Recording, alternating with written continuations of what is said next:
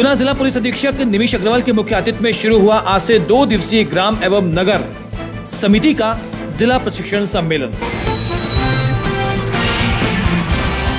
गुना क्षेत्र में रेल सुविधाओं की बढ़ोतरी के लिए क्षेत्रीय सांसद ज्योतिरादित्य सिंधिया आज मिले रेल मंत्री पीयूष गोयल से।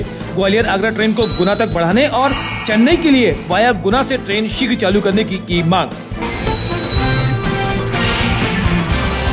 मुख्यमंत्री की धन्यवाद सभा में भाग लेने के लिए शहर से बड़ी संख्या में महिला कार्यकर्ता हुई भोपाल के लिए रवाना।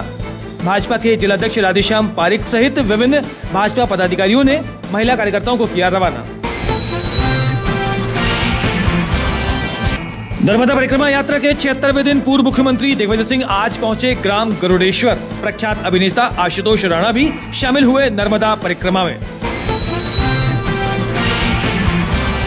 मध्य प्रदेश पर्यटन विकास निगम के अध्यक्ष तपन भौमिक और मध्य प्रदेश जन अभियान परिषद के उपाध्यक्ष राघवेंद्र गौतम के मुख्य आतिथ्य में संपन्न हुई एकात्म यात्रा के तारतम्य महत्वपूर्ण बैठक। बैठक में अतिथियों ने दिया एकात्म यात्रा के गुना ज़िले में प्रवेश को लेकर विभिन्न दिशा निर्देश। एकात्म यात्रा और सांस्कृतिक एकता के सिलसिले में आयोजित अखिल भारतीय टी ट्वेंटी बॉल क्रिकेट प्रतियोगिता में संजय स्टेडियम पहुँचे तपन भौमिक और राघवेंद्र गौतम। इंजीनियर ओइन शर्मा ने किया अतिथियों का स्वागत। अतिथियों ने खिलाड़ियों का परिचय प्राप्त कर बढ़ाया उनका उत्साह। सहकारिता राज्य मंत्री विश्वास सारंग कल रहेंगे गुना के दौरे पर। विभिन्न कार्यक्रमों में लेंगे हिस्सा।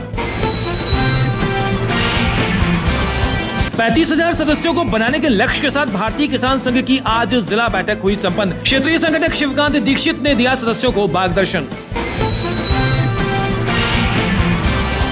अखिल भारतीय T twenty leather ball cricket प्रतियोगिता में आज ग्वालियर ने लगातार दूसरे मैच में हराया सेंट्रल रेलवे झांसी को।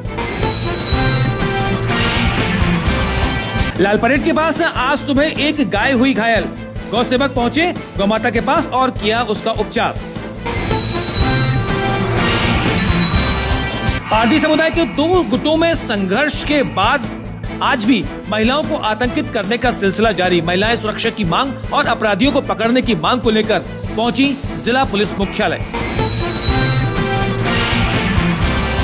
बमोरी को खुले में शौच से मुक्त कराने के लिए बमोरी में हुई स्वच्छ भारत मिशन के तहत प्रेरकों की महत्वपूर्ण बैठक।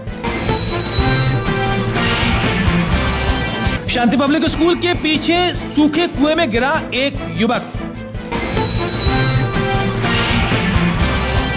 आगामी सत्रह तारीख को आयोजित होने वाले शिक्षा गुरुओं के सम्मेलन को स्थगित किए जाने से नाराज़ आज़ाद अध्यापक संघ ने आज शाम को हनुमान चौराहे पर लोक शिक्षण संस्थान द्वारा दिए गए आदेश की जलाई होली।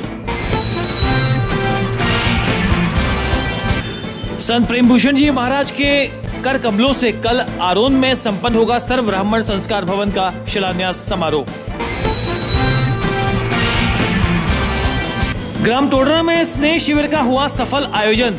ग्राम में 223 में से 10 बच्चे चिन्हित हुए, कुपोषित। बच्चों को उपलब्ध कराई गई निशुल्क आयरन और विटामिन की गोलियाँ।